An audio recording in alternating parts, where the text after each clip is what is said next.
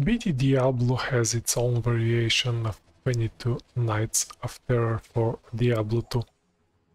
Instead of daily buffs, there are holiday gifts.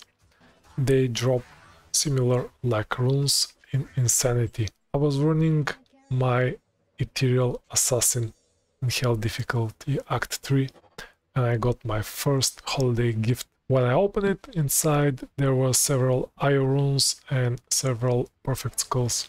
And the more surprising thing was that just two minutes later I found my second gift. And this time I got an Umrune, a few Fort runes and a few perfect sapphires. Good luck with your Christmas gifts.